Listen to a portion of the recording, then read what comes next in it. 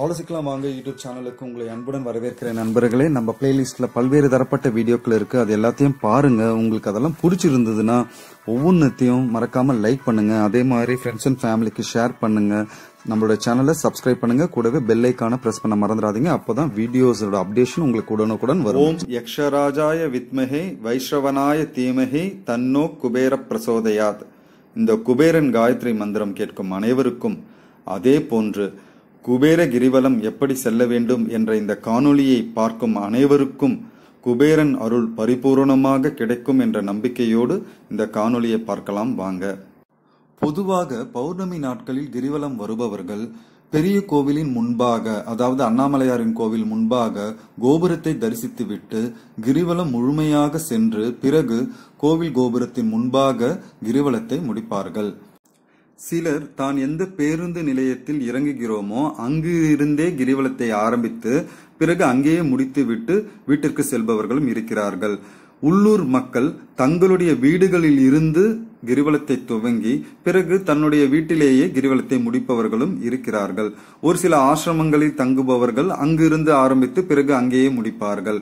வெகு சிலர் பெரிய கோவிலுக்கு முன்பாக இருக்கும் பூதநாராயணன் கோவிலில் பெருமாளை சேவித்துவிட்டு அங்கு இருந்து அப்படியே மலையை நோக்கி அண்ணாமலையாரையும் வழிபட்டுவிட்டு கிரிவலத்தை துவங்கி பிறகு அவரிடம் முடித்து கோபுரத்துக்கும் சென்று கோபுரத்தழகே வழிபட்டுவிட்டு வீட்டிற்கு செல்பவர்களும் உண்டு. குபேர கிரிவலத்தை முறையாக எப்படி செய்ய வேண்டும் என்பதை முதலில் பார்த்துவிட்டு நேரம் இல்லை அல்லது என்னுடைய சூழ்நிலை சரியில்லை என்பவர்களுக்கு அதை எப்படி செய்யலாம் என்பதை கடைசியாக பார்க்கலாம்.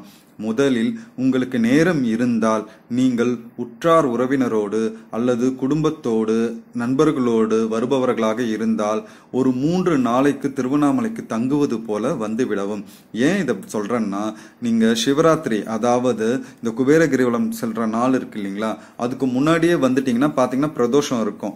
நீங்க பிரதோஷத்துக்கு வந்தீங்கன்னா நீங்க அன்று ஒரு நாள் கிரிவலம் செய்யலாம். அந்த மூன்று நாளும் நீங்க வந்து தொடர்ந்து கிரிவலம் செய்யற உங்களுக்கு ஒரு பாக்கியம் கிடைக்கும்.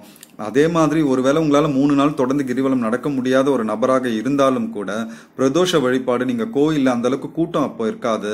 நீங்கள் அதை வந்து பார்த்துட்டு நீங்கள் புக் பண்ணுற ரூமில் ரெஸ்ட் எடுத்துட்டு அடுத்த நாள் காலையில் நீங்கள் வந்து இந்த குபேர வழிபாடு செய்கிற ஃபார்மாலிட்டிஸ்லாம் நீங்கள் பண்ண ஆரம்பிக்கலாம். ஒருவேளை உங்களுக்கு அதுக்கெல்லாம் டைம் இல்லை அப்படின்னாலும் முன்னாடி நாள் வரா மாதிரி பார்த்துக்கோங்க. அதுவும் இல்லை அப்படின்னா கரெக்டாக அந்த குபேர கிரிவலம் செல்லும் நாள் இருக்கு இல்லையா?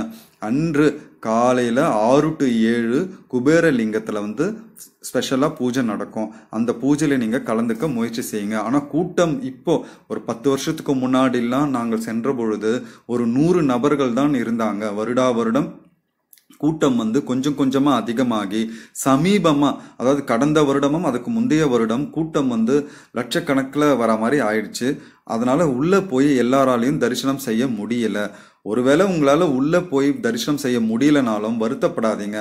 அந்த நேரத்தில் அந்த இடத்துல இருக்கிறதுக்கே பெரிய புண்ணியம் செஞ்சு இருக்கணும். ஸோ அதுவே போதும். எங்கே இருந்தாலுமே இன்னொரு முக்கியமான விஷயம் நீங்கள் திருவண்ணாமலையை சுற்றி எங்கே இருந்தாலுமே என்னால் இந்த கோயிலுக்கு போக முடியல மூலவரை பார்க்க முடியல அப்படின்ற வருத்தத்தை நீங்கள் தயவு செஞ்சு வச்சுக்காதீங்க. அந்த ஒவ்வொரு நிமிடமும் ஒவ்வொரு நொடியும் உங்களுக்கு வந்து வருத்தம் ஏற்படும் பொழுதெல்லாம் அப்படியே மலையை நோக்கி பாருங்க. அண்ணாமலையார் எல்லோருக்கும் காட்சி கொடுத்து அடைமழை போல அவரோட அன்பை வந்து நம்ம மேல பொழிஞ்சுக்கிட்டே இருக்கிறாரு. அதனால தயவு செஞ்சு யாருமே எப்பொழுதுமே வருத்தப்படாதீங்க. கடவுள் அங்க நமக்காக காத்துக்கிட்டே இருக்கிறாரு பார்த்துக்கிட்டே இருக்கிறாரு. அவர் நீங்க எங்க இருந்தாலுமே பார்க்கலாம். அதில் நீங்க ஆத்ம திருப்தி பெறுங்க. குபேர கிரிவலம் செல்லும் நாள் பார்த்தீங்கன்னா முன்னாடி நாள் நைட்ல இருந்து அடுத்த நாள் நைட்டு காலையில வரைக்கும் ஆட்கள் நடந்து கொண்டு தான் இருக்கிறாங்க. ஆனால் குபேர கிரிவலம் எப்படி செல்லணும் அப்படின்னா காலையில் ஆறு டு ஏழு குபேர லிங்கத்தாண்ட ஒரு ஸ்பெஷல் பூஜை நடக்கும். அந்த பூஜையை முடிஞ்சால் நீங்கள் கலந்துக்குங்க. அப்படி இல்லையா ஈவினிங் அதாவது மாலை நேரத்தில் நான்கு முப்பதுலேருந்து ஆறு மணி வரைக்கும் தின பிரதோஷ காலம் இருக்கு இல்லையா? அந்த டைமில் வந்து குபேரரே வந்து இங்கே பூஜை நடத்துகிறதா நம்பப்படுகிறது. அந்த டைமில் நீங்கள் அங்கே இருக்கிற மாதிரி இருந்தீங்கன்னா ரொம்ப சந்தோஷம். ஒருவேளை கூட்டம் வந்து அதிகமாக இருந்தாலுமே கூட நீங்கள் அந்த இடத்துல அமைதியாக நீங்கள் எங்கேயாவது இருங்க. பல பேரை நம்ம பார்க்க முடியுது. எல்லாரும் ஒருத்தரை ஒருத்தரை அடிச்சுக்கிட்டு கூட்டத்துக்குள்ளே வந்து எங்கேயோ ஒளிஞ்சு அப்படி வந்து இப்படி வந்து ஆட்களை தாண்டி எப்படியோ குதிச்சு அது மாதிரிலாம் செய்து அந்த கடவுளை பார்க்கணும்னு நினைக்கிறாங்க. ஆனால் தயவு செய்து அது மாதிரி செய்வதற்கு முன்பாக குபேரன்னா யாரு என்னும் காணொலியை பார்த்துட்டு வாங்க. அவரு எந்த மேலேயும் ஆசாபாசங்கள் எல்லாம் விட்டுட்டு ஒரு தர்ம நிலையை கடைபிடிச்சதுனால தான் இந்த அளவுக்கு வந்தாரு. நீங்க அவரை பார்க்கறதுக்கு எல்லா திருட்டுத்தனமும் எல்லா இன்ஃப்ளூயன்ஸும் யூஸ் பண்ணி அதை மிஸ்யூஸ் பண்ணிட்டு வந்தா உங்களுக்கு வேண்டுமானாலும் ஒரு நல்லது ஏதோ ஒரு பூர்வஜன்ம புண்ணியத்தெல்லாம் நடக்கலாம். ஆனால் நீங்கள் செய்யும் பாவ காரியங்கள் அதுவும் அண்ணாமலையில வந்து அது மாதிரி செய்யும் பாவ காரியங்கள் உங்களுக்கு மட்டும் அல்லாது உங்கள் சந்ததிகளையும் கண்டிப்பா பாதிக்கும். இதை நிறைய பேர் தெரிஞ்சவங்க கூட அது மாதிரி செய்வது வந்து கண்டிப்பா மன வருத்தத்தை தான் தருது. அதனால் உங்களால் அமைதியாக கூட்ட நெரிசலில் காத்திருந்தும் அவரை பார்க்க முடியும் என்றால் நீங்க அதை செய்யுங்க. அப்படி இல்லைன்னா அந்த நேரத்தில் அங்கே சென்று ஒரே ஒரு நிமிடம் அவரை மனதார நினைத்து கொண்டு நெஞ்சகமே கோவில் நினைவே சுகந்தம் அன்பே மஞ்சன நீர் பூசை கொள்ள வாராய் பராபரமே என்பது போல நீங்க அந்த மனசுல அவரை நினைச்சிட்டு அண்ணாமலையார் அந்த இடத்துல அந்த குபேர கிரிவலம் இருக்க ஆரம்பிக்கிற இடம் இருக்கு இல்லைங்களா? அதாவது குபேரலிங்கத்துல தான் நம்ம ஆரம்பிக்க போறோம். அங்க இருந்துட்டு அப்படியே பாத்தீங்கன்னாலும் அண்ணாமலையார் நல்லா தெரிவாரு. அங்கதான் அவர் இருக்காரு நினைச்சுக்கிட்டு மனதார கும்பிட்டுக்கங்க. அதுவே உங்களுக்கும் உங்க சந்ததிக்கும் கோடான கோடி புண்ணியத்தை தேடி தரும் தின பிரதோஷ காலமான நான்கு முப்பது முதல் ஆறு மணி வரை அந்த நேரத்தில் அதாவது குபேர பகவான் வந்து தான் ஸ்தாபித்த அந்த குபேர லிங்கத்திற்கு வந்து அன்று பூஜை செய்வதாக ஐதீகம். அப்போ அவர் பூஜை செய்கிற டைம்லேயும் முடிஞ்சா நீங்கள் அங்கே இருங்க. அதை முடிச்சுட்டு அவர் நேராக அண்ணாமலையார் கோவிலுக்கு சென்று அண்ணாமலையாரையும் உண்ணாமலை அம்மனையும் தரிசிச்சுட்டு அவர் கிரிவலத்தை ஆரம்பிக்கிறாரு. ஸோ இதே டைம்ல நீங்களும் என்ன பண்ணுங்க? நாலரை டு ஆறு அங்கே குபேரலிங்கத்தாண்ட நேரம் ஒதுக்கிட்டு அங்கே இருந்து அப்படியே நீங்கள் வந்து நேராக வந்து அண்ணாமலையாரை தரிசிச்சனம் செஞ்சுட்டு நீங்கள் அப்படியே கிரிவலத்தை வந்து ஆரம்பிங்க. ஒருவேளை அண்ணாமலையார் கோவிலிலும் கூட்டம் அதிகமாக இருந்தது உங்களால் உள்ள போக முடியல நேரம் அதிகமாக இருக்குன்னாலும் வருத்தப்படாதீங்க. அண்ணாமலையாரை அப்படியே கும்பிட்டு கிரிவலத்தை பொறுமையா ஆரம்பிங்க. உங்களால எந்தெந்த லிங்கத்தெல்லாம் பார்க்க முடியுதோ முடிஞ்ச வரைக்கும் போய் பாருங்க. அப்படி எங்கேயுமே போக முடியலனாலும் தயவு செய்து நான் திரும்ப திரும்ப சொல்வது மன வருத்தத்தோட எதையுமே செய்யாதீங்க. மனதில் நீங்க கடவுளை நினைச்சீங்கன்னா அவர் உங்களை தேடியே வந்துருவாரு. அதை முழுதான் நீங்க நம்புங்க. அங்கே இருந்து நீங்கள் பொறுமையாக எல்லா லிங்கத்தையும் பார்த்துட்டு ஒவ்வொன்றத்தையாக நீங்கள் வந்து அனுபவித்து ரசிச்சுட்டு அமைதியாக குபேர மந்திரங்களை நீங்கள் சொல்லிட்டு அதாவது இதில் முக்கியமானது இன்னொன்று வந்து என்னென்னா நீங்கள் குபேர லிங்கத்தாண்ட நிறைய பேர் ஆரம்பிக்கிறவங்க என்ன பண்ணுறாங்க அப்படின்னா வரவங்க ஏதோ கத்திக்கிட்டு நீங்கள் அங்கே பார்த்தீங்கன்னா தெரியும் ரெகுலராக வரவங்க கத்திக்கிட்டு அரட்டை அடிச்சுக்கிட்டு கலாட்டா பண்ணிட்டு இது மாதிரிலாம் வந்துடுறாங்க. அதுக்கப்புறம் எனக்கு வந்து கடவுள்கிட்ட இருந்து எனக்கு அது கிடைக்கலையே இது கிடைக்கலையே அப்படின்னு சொல்கிறவங்களும் இருக்கிறாங்க. ஆனால் நீங்கள் எப்படி வந்தாலும் அதற்குரிய பலனும் உண்டு. அதை நான் தப்புன்னு சொல்ல வரல. அதே சமயம் மனதில் அன்பை மட்டும் வச்சுக்கிட்டு அன்பா கடவுளை வந்து வேண்டிக்கிட்டு தனக்கு நிஜம் அதாவது ஒரு அத்தியாவசிய தேவைகள் ஒரு கண்டிப்பாக இது தேவை அப்படின்னு வாழ்க்கையில் இருக்கும் இல்லைங்க இல்லையா? அது மாதிரி ஒரு நேர்மையான தேவைகளுக்காக பூஜித்தா வேண்டிக்கிட்டா கண்டிப்பாக அது எல்லாம் நடக்கும். என்னோட அனுபவத்திலையும் இந்த பத்து வருட காலங்களில் திருமணம் ஆகாத எத்தனையோ பேரை நான் இந்த கரெக்டாக குபேர கிரிவலம் நாள் என்று கூப்பிட்டு கொண்டு வந்திருக்கிறேன். அதே மாதிரி வேலை இல்லாதவர்கள் என்னிடம் வந்திருக்கிறார்கள். அதே மாதிரி திருமணம் ஆகி குழந்தை பிறக்காமல் இருந்தவர்களும் என் கூட வந்திருக்காங்க. போன வருஷம் கூட அது மாதிரி ஒருத்தர் வந்தவருக்கு இப்போ இந்த வருஷம் வந்து குழந்தை பேர் கிடைச்சிருக்கு. இது மாதிரி ஆத்மார்த்தமாக நம்ம செஞ்சோம்னா கண்டிப்பாக அதற்குரிய பலன்கள் உண்டு. அதே மாதிரி இந்த குபேர கிரிவலத்திற்கு வரும் நபர்கள் பொதுவாக மஞ்சள் நிற ஆடைகளை உடுத்திக்கொண்டோ அல்லது பச்சை நிற ஆடைகளை உடுத்திக்கொண்டோ அல்லது எந்த நாளில் எந்த கிழமையில் அது வருகிறதோ அன்றைய தினத்திற்கு என்ன நிறமோ அந்த நிறத்திற்கான ஆடைகளையோ உடுத்திக்கிட்டு வராங்க. என்னோட கருத்து தனிப்பட்ட கருத்து என்னன்னா கண்டிப்பா அது சிறப்பான ஒரு விஷயம் தான் அதுல தவறு எதுவுமே கிடையாது. நம்ம அதை வந்து தவறான ஒரு கண்ணோட்டத்துல நான் சொல்லவே விரும்பல. ஆனா இதையெல்லாம் தாண்டிய ஒரு விஷயத்தை தான் நீங்க மனசுல வச்சுக்கணும்.